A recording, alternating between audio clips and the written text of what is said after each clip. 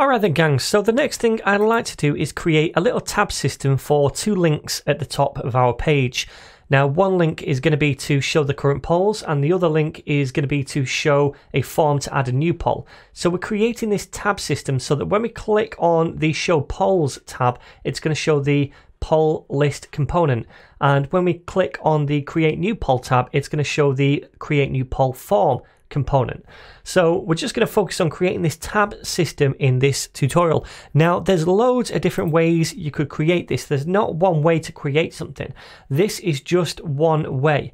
And the way I'm going to do it is by first of all over here declaring a couple of variables. So let me do a tabs comment first of all, so we know what all this is. Then I'll create a variable called items. And this items variable will be an array. And in the array, we're going to store what items or what text links we're going to have in the tab system. So we're going to have one tab that says current polls, and that's going to be to see the list of polls. And the other tab is going to be add new poll, and we're going to click on that to create a new poll. So now we also need to say which one of these tabs is going to be active to begin with. So I'm going to say let, and I'm going to call this one active item and set it equal to one of these things right here. Well, by default, I want to show the current polls on the screen. So I'm going to copy that and paste it here. And these two must be exact, not current polls with lowercase p. They must be exact because we're going to check the difference between them later when we decide what content to show. And we'll see that. Okay, so we have these two items now. The next thing I'd like to do is create a tabs component so we can pass these in as props. So in the source folder, I'm going to create a new folder and I'm going to call this shared, not in capitals, shared. And in here, we're going to place any kind of components that could be reusable in different parts of the application. Now, we could use a tab system elsewhere because we're not hard coding the tabs inside the tabs component. That can be set from outside, so it becomes reusable and we can just pass whatever tabs in that we want. So we're going to place it in this shared folder. Let's create a new file called tabs.svelte. Oops, I've spelled that completely wrong. Let me rename that. So it's tabs.svelte. Okay then. So inside here, let's first of all create a script tag, and we'll come back to that in a second. Then we need some kind of HTML template. So we'll start that off with a div with a class of tabs, and we'll come back to that in a second as well. And then finally, we need a style tag in case we style this up, which we will do. All right then. So our tabs are essentially going to be a list of items. In our case, just a list of two items, these things right here. So if I'm creating a list, then I typically use a UL. You don't have to, but I'm going to use a UL. And now what I need to do is cycle through the actual tabs that we're going to have and output a bit of HTML for each one, an actual tab. Now, in order to do that, I have to pass the tabs in as a prop, these things right here, the items. So let us first save this for now and come over to app.svelte and import the tabs component. So I'm going to duplicate that and change this to tabs, then this to the shared folder, and this should be tabs as well. So we've imported that, and we're going to place the tabs probably inside the main thing right here. So let's do a tabs component like so, and we're going to pass in these things as props. So I could say right here that the items are equal to items. Now remember the shortcut because the variable name and the prop name is the same is just to delete the left side of it and we're still passing the items in as a prop. Now I'm also going to pass in the active item as well. So we'll say active item because I'm sure we'll use that inside the tabs component at some point. Okay, so we're passing that data in as props. Now inside the tabs component itself, we can accept those. So let me do that inside the script. I'm going to say export which we need to do in front of any variables which we're accepting as props. And then let items. And then underneath that, we need to also accept the other variable, which was, I think, let me have a look, um, active item. Yep. Okay. So export let active item. Cool. So we have those two variables now and we can use them. Now inside the UL, I want to output an li tag for each item. Remember, items is an array, so we can cycle through these and output a bit of template for each one. So let us now do an each loop. We do that by using curly braces, hash each, Then what we want to cycle through items, and then I'll name each one item as we iterate through. So let's close that off by saying forward slash each at the end. And then inside, I want to output an li tag for each item. So let's do that. And then inside the li tag, I'm going to actually output the item itself, the text of it. So I can just use this variable. So let me first of all do a div because we're going to use this to apply a class later and then output an item inside it. All right. So now all we're doing is cycling through the items and outputting an li tag for each one. So if I save this now, we should see both of those are right here. Awesome. Okay then, so what do I want to do next? Well, first of all, I want to say whether this current item is active, and we can use this active item to determine that to apply a conditional class. We've seen how to do that in the past. So to apply a conditional class, I can say class active. So I'm going to apply this class to this div if a certain condition is true, and that condition is going to be that item is triple equal to active item. So if we cycle through items, and currently we're cycling through this one, we're going to say, okay, is current polls equal to active item, which is current polls? This would be true, therefore, this is true. So we apply the class of active to this div, and then we can style this a little bit differently to show the user that this is an active item. When it cycles through the second one, add new poll. Well, this is not equal to the active item current polls, therefore it doesn't apply this class of active. So this is purely just to style this differently so a user knows which item is active and what content they're seeing on the page.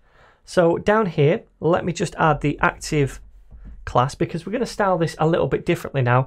First of all, I'll give this a different color. So that's going to be hash D9 1B42. And that should be a ready color. Yep, this red color here.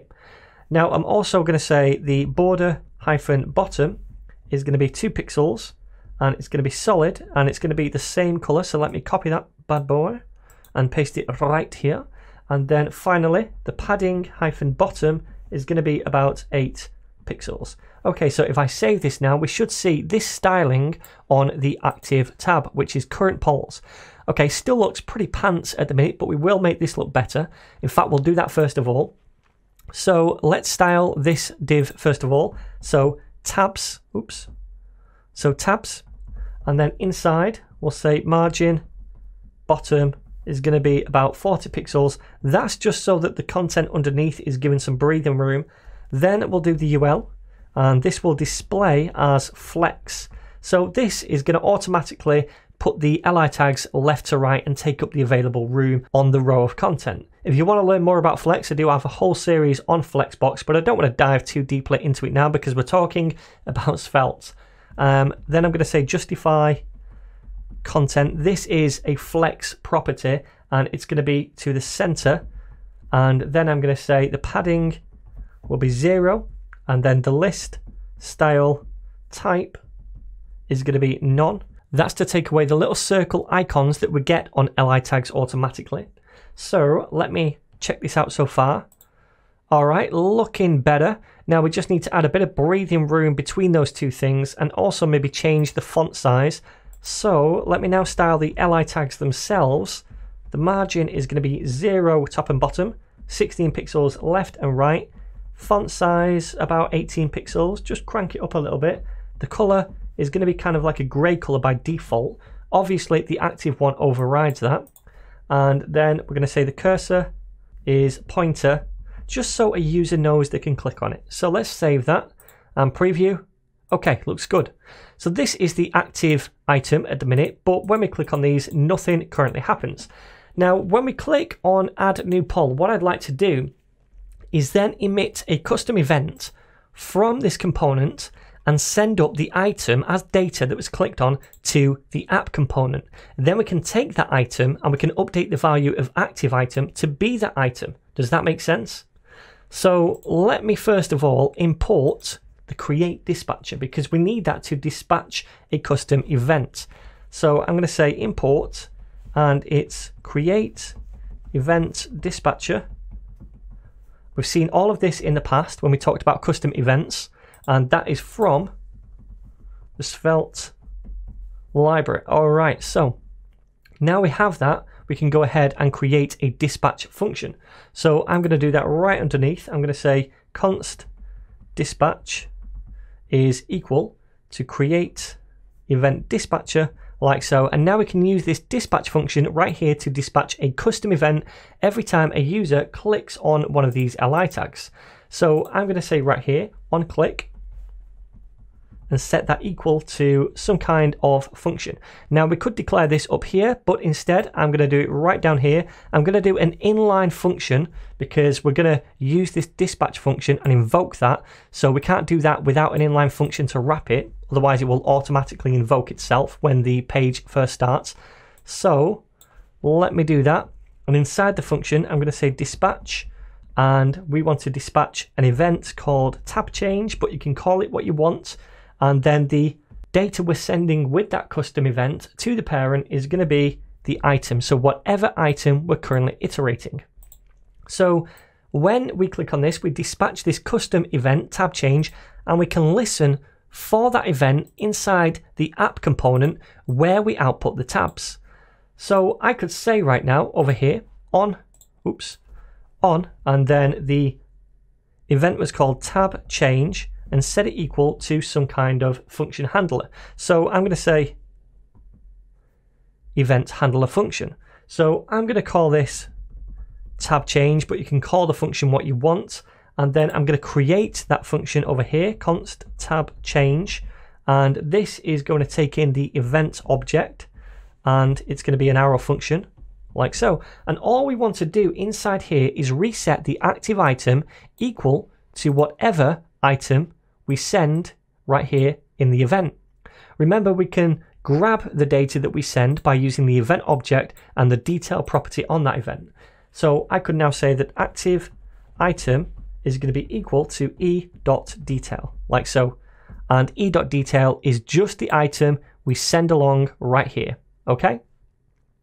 So now we've done that, when active item changes, say we click on add new poll, right here, we send add new poll as the item value.